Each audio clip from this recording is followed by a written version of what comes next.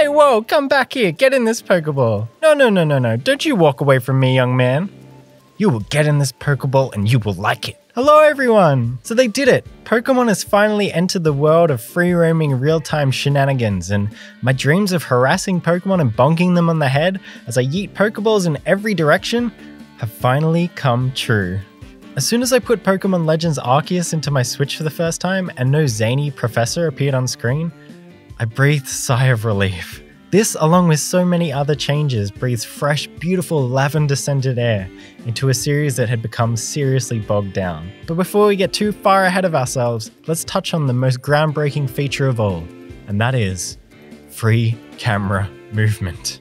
Look at me go! I can look over here, and here, and here, I can look everywhere. That's right, the whole game, unlike Pokemon Sword and Shield, has free camera movement. I love that in 2021 with Skyward Sword and now 2022 with Pokemon Legends Arceus, both games have included camera movement as a major feature. Never change Nintendo, you crazy mongooses. Mongoose? Is mongoose the plural of mongoose? Or is it just mongoose? Oh god, English. Now, I did say that the game doesn't initially open with a zany professor, but that doesn't mean that there isn't one in the game. And after I concluded that I couldn't run into the ocean, I had to help this zany professor catch the starter Pokemon by actually throwing Pokeballs at them. ah! And not in a let's go Pikachu and Eevee kind of way. Catching Pokemon is now a seamless, fast paced, in real time experience, and I flippin' love it. I personally find the capture mechanic in this game just to be so satisfying. I mean, the bonking sound effect alone as you hit a Pokemon directly in the face is enough to keep me coming back over and over again. It's incredible. They've actually managed to make a Pokemon game where I actively want to catch them all. My inner child is screaming right now. After I caught all of the starter Pokemon and returned them to the professor, I was introduced to the beautiful village of Jubilife and the Galaxy Expedition team. And because the mold of gym battles and trainers had been completely broken, I don't know, I just thought it was all so cool. And it was the first time in decades that I found myself playing a Pokemon game and thinking, I, I have literally no idea what's going to happen next. Like, this, this, is this what excitement feels like? I just wanted to get out there and explore the world and catch Pokemon and squeal in delight. But Instead, I had to wade my way through awkward, slow, and boring dialogue that had no voice acting and feels so lifeless. It's not as bad as the NPC interruptions in Pokemon Sword and Shield, but my goodness, Pokemon games love to break gameplay flow by having a slow cutscene where someone tells you to meet them downstairs and then you physically have to break out of that cutscene, run downstairs, go into the next cutscene to talk to them, and then have another conversation. Just tell me what you had to say upstairs or teleport me. Ah! They should have just thrown you straight into one of the wild areas and you could optionally go up and ask for tips and tutorials or advice, but otherwise just just let us free on the world. You need to trust your players' Pokemon. And if they're really worried about people getting lost, just leave a flashy sparkle above a character's head and players will naturally go up and talk to them once they've run out of things to do. Oh, and don't even get me started about the slow pans into every single dialogue scene. Anyway, sorry, big rant. Maybe there's some people out there that really like the dialogue in this game, but I am not one of those people. It just feels especially jarring and slow paced when the rest of the game is so dynamic and flows so well, in my opinion. After grinding through exposition and watching Abra move at like 4 frames a second because there were too many character models on screen for the Switch to render, I finally got to choose my starter Pokemon. This is probably the most important decision of my whole life. What would Brock do in this situation? Do I go with the Fire Weasel, Spinach Owl, or Water Cat? No, I'm just joking. I'm being dramatic. For me, it was an easy choice. Rowlet for life, baby. I named my Rowlet Widget and then was given my first task in order to become a bona fide Team Galaxy member. And that task was to catch a freaking Bidoof! a Bidoof! there is literally nothing in the world that I want more than a Bidoof. As I sauntered my way out of the village to find a Bidoof, I threw Widget out of its Pokeball and it just it just popped out right in front of me. Holy guacamole! I could go up and talk to it and zip it back into its Pokeball. I didn't even have to open a menu screen. This, this right here, is a thing of beauty. As someone who's been around since the days of Pokemon Blue, I could just freaking throw it out of its Pokeball and it's right there. But it also got me thinking Can I throw a Pokeball and have my Pokemon just fly out into someone's face? I carefully picked my target, warmed up my Pokeball throwing arm. But alas, you cannot throw a Pokeball at someone's face.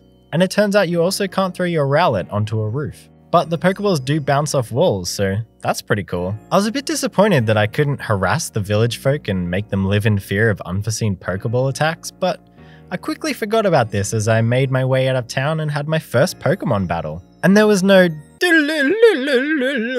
with black squiggly lines transition. The battle just happened then and there in the world where I was actually standing. And not only that, I could just run around wherever the heck I wanted. I ran over to my opponent's Togepi and attempted to kick it into the dirt. I mean, could you imagine if I just could run up and kick the Togepi and it flew off like Team Rocket into outer space? But unfortunately, your character can't physically hurt the other people's Pokemon.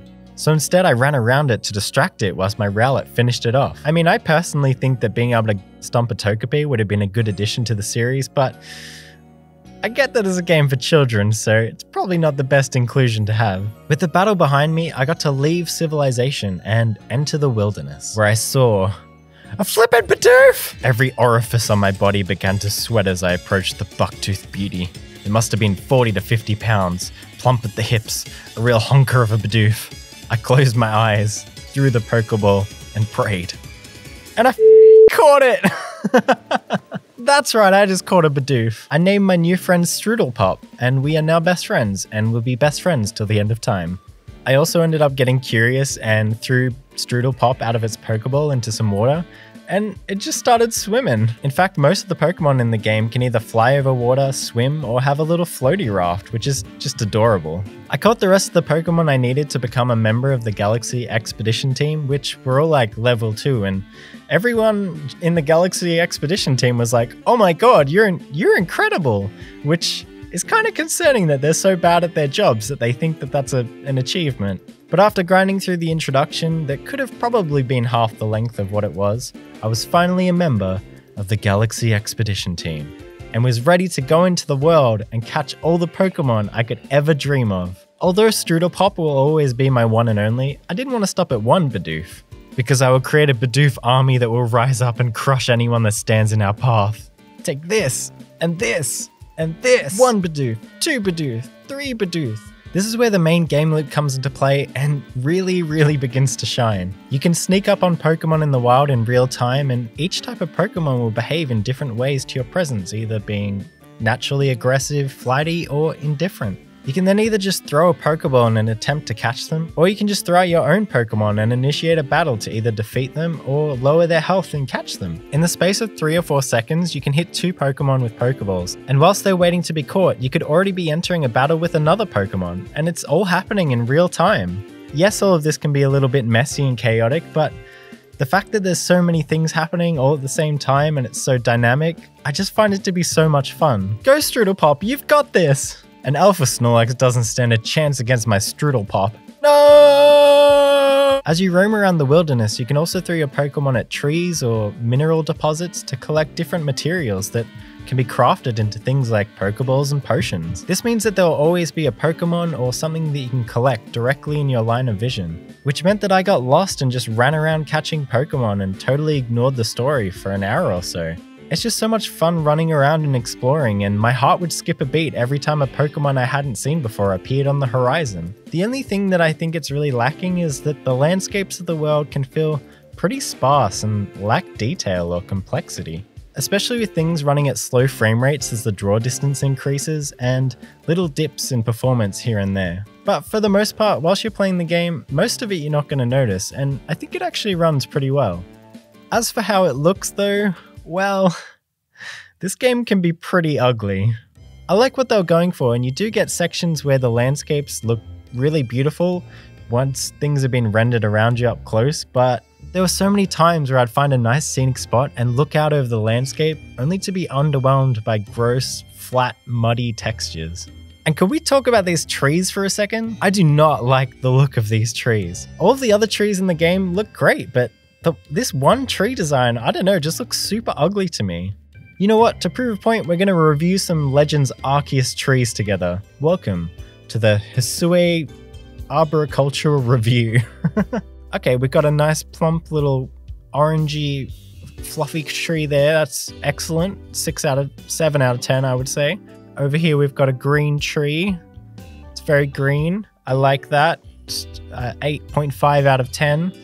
And then we've got this guy. What, what is up with these pine looking trees? I just find the shadows to be so harsh and jagged. So it's a three. Uh, it's a, it's a two out of ten. Despite my complaints about the landscapes in the game, there are so many more changes that have been included that I love.